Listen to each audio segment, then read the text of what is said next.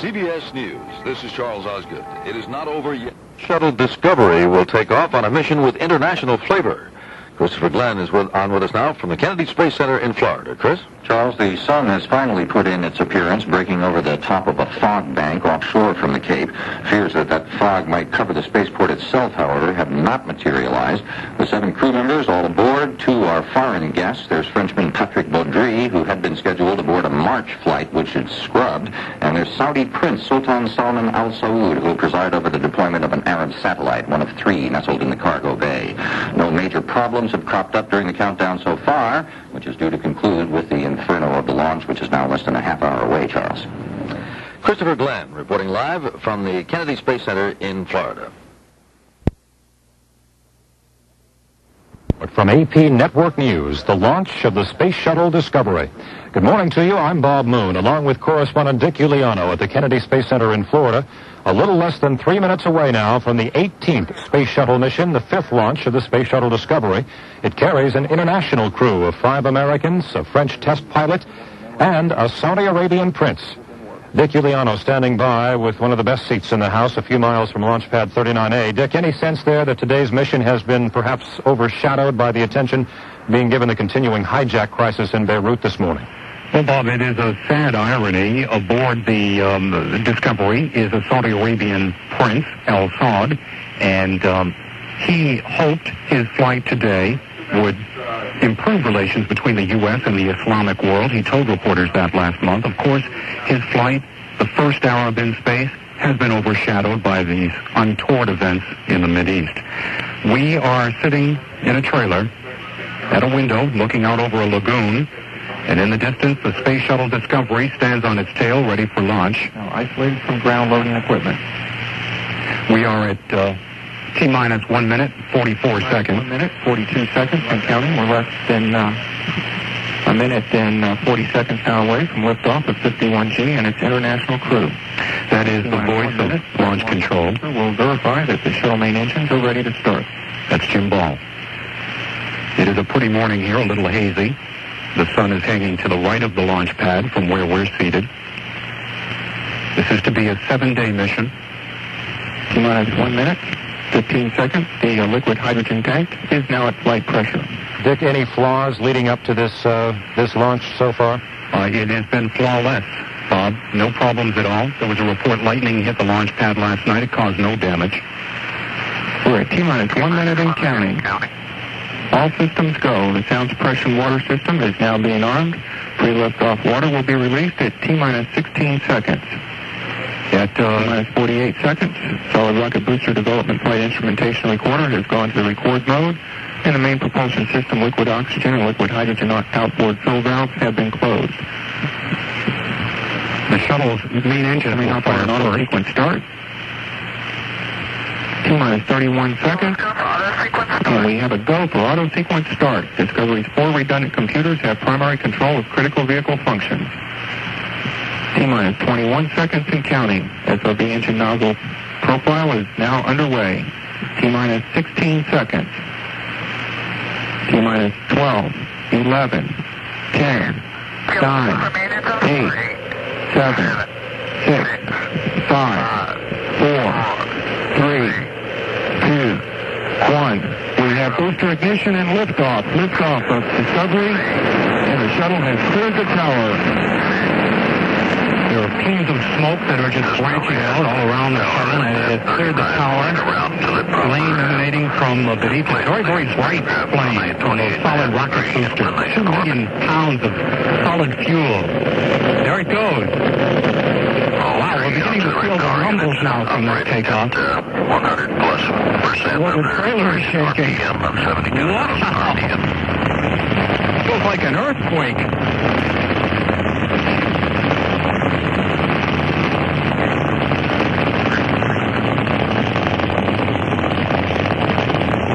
It leaves you a little awestruck. We still have sight of it. Long plume of smoke, and it uh, is beginning to arc out over the Throttling down to 84 and then 65 percent. At this point, the astronauts are heads down. pad is uh, completely uh, covered with, uh, with the smoke from that launch. Of uh, atmospheric compression. What a sight, Bob. We're going to wait along now for the uh, separation of those solid rocket boosters, those two long tanks that you see uh, on the side of the shuttle. Make sure that they separate safely. Throttling back up to uh, 104%. All engines showing 104%. It'll be about uh, less than 30 seconds from now, I uh, presume. We will have uh, separation of the solid rocket boosters. They spend their fuel, and uh, that's it for them. Uh, small little rocket motors separate them from the uh, the shuttle, and then of course they are recovered and reused again. What always amazes me is the acceleration. It's already about 15 miles downrange. What amazed me was this trailer rumbling. Quite an experience. We're watching the uh, long range confirmation of uh, Cameras now? rocket booster separation on time. So there we have it, the confirmation of the uh, solid rocket boosters separating from the spacecraft. 5290 feet per second. And the Space Shuttle Discovery is on its way for the fifth time, the 18th shuttle mission. During seven days in space, this crew will deploy three communication satellites and uh, plans to serve as a Star Wars laser target of sorts. Discovery set to return to Earth a week from today, landing on the wide open dry lake bed at Edwards Air Force Base in California. And so the Space Shuttle Discovery on its way into orbit. Along with correspondent Dick Uliano at the Kennedy Space Center in Florida, I'm Bob Moon, and this has been a live special report from AP Network News.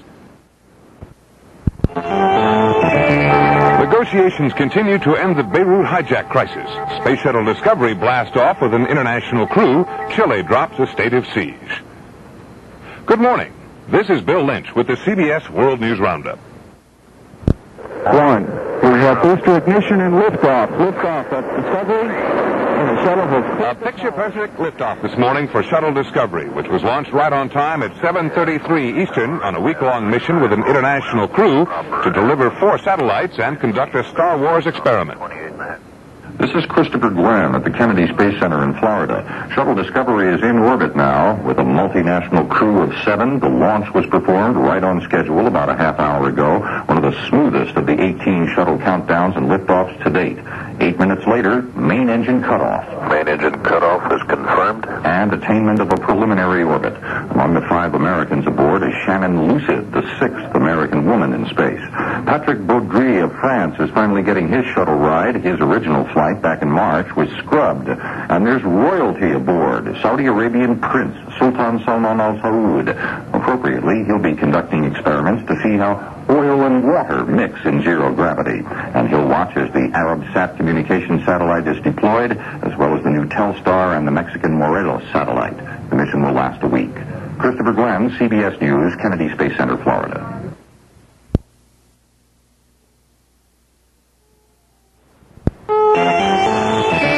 Three hostages reported free in Beirut. A U.S. naval task force arrives off Lebanon. Shuttle Discovery checks out a satellite glitch. Good morning.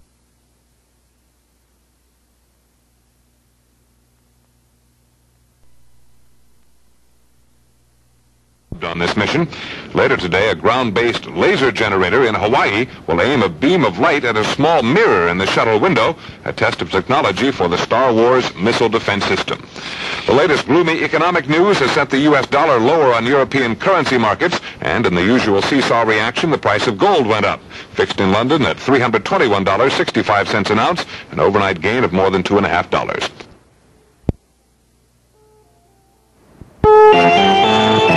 President Reagan says no deals with the Beirut hijackers. The plane's pilot says a rescue would mean death for the hostages, another shuttle success.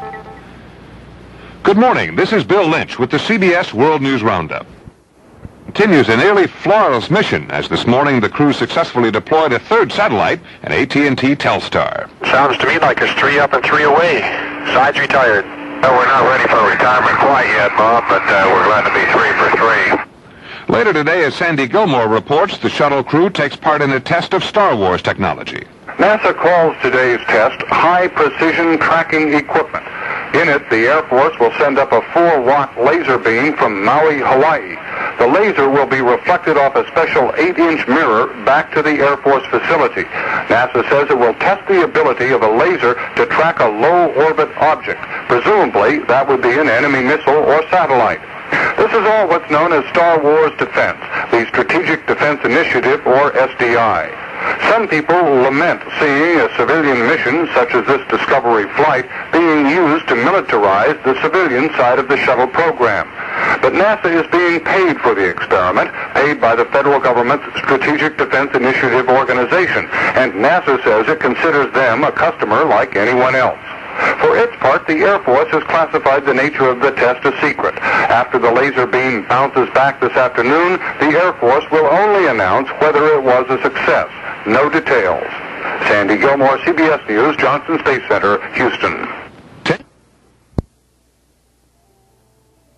Four U.S. Marines among 13 killed in a rebel raid in San Salvador's nightclub district. The hijack crisis in Beirut appears to be deadlocked.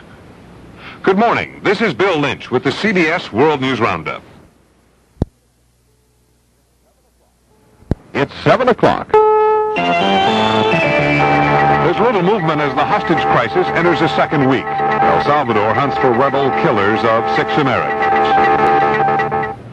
Good morning. This is Bill Lynch with the CBS World News Roundup. Laser beam off the shuttle Discovery, Air Force scientists tried again this morning. And as Sandy Gilmore reports, this time the experiment worked. The shuttle Discovery begins its fifth day in orbit today. Just a while ago, Mission Control and the astronauts succeeded in getting the shuttle pointed in the right direction for a test of the Air Force's laser tracking system from Hawaii. Because wrong information had been put into the shuttle's computer the other day, the experiment failed. Today, everything works. This was a demonstration of the ability to track objects in low orbit, namely enemy missiles, so-called Star Wars. At this point, Star Wars is a $28 billion program with no assurance that it could prevent the nuclear destruction of the United States anyway. But for its part, NASA has had a successful flight so far, launching satellites and launching a science platform now looking for a mysterious black hole in the Milky Way. Sandy Gilmore, CBS News, Johnson. A half billion dollars for Star Wars research.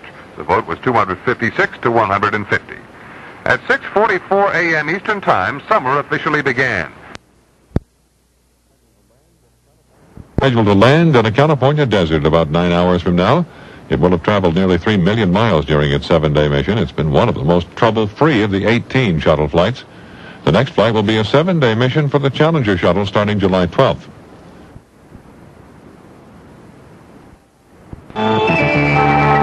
Frees 31 Lebanese prisoners with no apparent impact on the American hijack hostages. A bomb is suspected in the crash of Air India's jumbo jet. Good morning. This is Bill Lynch with the CBS World News Roundup. Begun its re-entry burn for a return home this morning. Its three-nation crew having chalked up a near-perfect mission. Sandy Gilmore reports from Houston.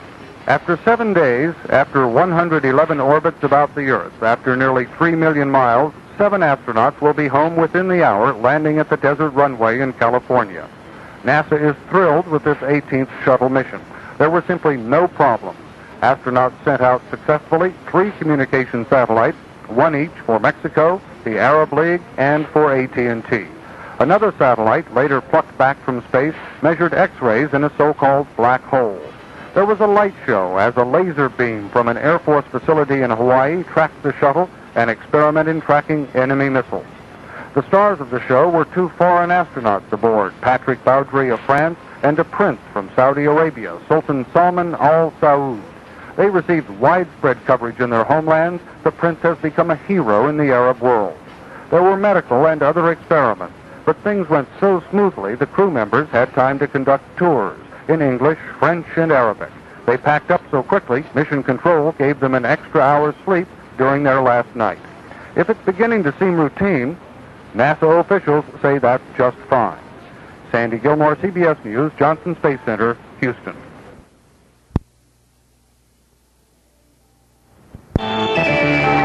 CBS News, this is Charles Osgood. Israel is about to end a near-perfect mission. Chris Fitzrandolph of CBS station KNX is at Edwards Air Force Base for the landing. The desert sky is light now, and NASA awaits Discovery's landing, the 12th time a shuttle has returned to Earth by way of the Mojave Desert. A crowd of several hundred spectators is waiting a whole parade of RVs parked in a neat row with the brave ones on the roofs to get the best look possible. NASA did have to make a last-minute change of runway because of strong crosswinds, but that's not considered a problem anymore. Everything is go for a landing in just a few minutes, what everyone hopes will be a smooth ending to one of the smoothest missions yet. Chris Randolph for CBS News, Edwards Air Force Base, California. RNN News Time, 810. Special report from AP Network News, the landing of the space shuttle. Good morning to you. I'm Bob Moon, and the crew aboard the Space Shuttle Discovery is returning home, returning to Earth, and a royal welcome of sorts. Ten Saudi Arabian princes are to be on hand this morning in California's Mojave Desert. As Discovery touches down there, they'll be there to greet the crew members, one of whom is himself a Saudi prince. The AP's Dick Uliano has been following this flight from the Kennedy Space Center in Florida, and Dick, it has been a successful flight. It's been one of the most successful flights that the Space Shuttle program's had in 18 launches. We've got correspondent. We've got correspondent Steve Futterman standing by in the uh, California's uh, Edwards Air Force Base now for a uh, play-by-play of what's happening as the shuttle comes in for a landing. Steve? Bob, the shuttle we can see from the high-powered camera supplied by NASA, the spacecraft is now over Edwards Air Force Base. As I think people have been reminded many times, this is a glider. It's powerless, so it must successfully land on its first try. It has only one try. It's now rapidly coming down as we see it approach. The shuttle appears first to the naked eye as just a white speck in the blue California sky. At least that's what it's like today. It grows larger and larger as it rapidly approaches. And now the shuttle, we see it coming down rapidly. It's now coming down over the California desert. The clouds are really uh, out of the California sky today. They did have to move the landing to runway 23 because of some gusty winds, but so far that has not appeared to be a problem at all. And now we see the shuttle rapidly coming down. It's maybe a hundred feet. The wheels are down. So now we're waiting for that critical touchdown. The rear wheels will touch first, and then gradually the front of the spacecraft will come down. We're waiting for the rear wheels to touch down. They have touched down. The shuttle sort of bounced a bit as it came down. The rear wheels did, and now the nose of the spacecraft gradually comes down. It is lowering now, and finally we will get in a few seconds the touchdown. And now it has touched down. The spacecraft Discovery successfully ending its fifth trip into space and the 18th trip of the space shuttle. Kicking up a cloud of dust on the floor of the California desert now as it uh, rolls to a stop. The support crews will now come out. This is a, a process that they've done, as I said, 17 times previous to this, mostly here at Edwards Air Force Base. The support crews will come come out and purge the spacecraft. But this landing, like most of them, went very smoothly. As I said, the spacecraft appeared to bounce a bit as the rear wheels touched down, but except for that, it was a, a perfect landing by Commander Daniel Brandenstein and pilot John Creighton. Brandenstein was on the eighth shuttle mission. For Creighton, it's his first flight. And indeed, the space shuttle has now rolled to a stop at Edwards Air Force Base in California. Briefly back to correspondent Dick Uliano at the Kennedy Space Center. Dick, uh, update us, if you will, on what uh, was accomplished during this mission. Of course, Bob. As I indicated earlier, it was one of the more successful flights in the Space Shuttle program. They deployed three communication satellites. They also put out and retrieved the Spartan Explorer, which measured X-ray emissions from the center of the Milky Way and also from a distant constellation. And this Space Shuttle mission participated in the uh, first successful Star Wars test. They acted as a target for a laser beam fired from Hawaii. Very successful mission. And the Space Shuttle Discovery is back on Earth safely. With correspondent Dick Uliano at the Kennedy Space Center in Florida and Steve Futterman at Edwards Air Force Base in California, I'm Bob Moon, and this has been a live special report from AP Network News.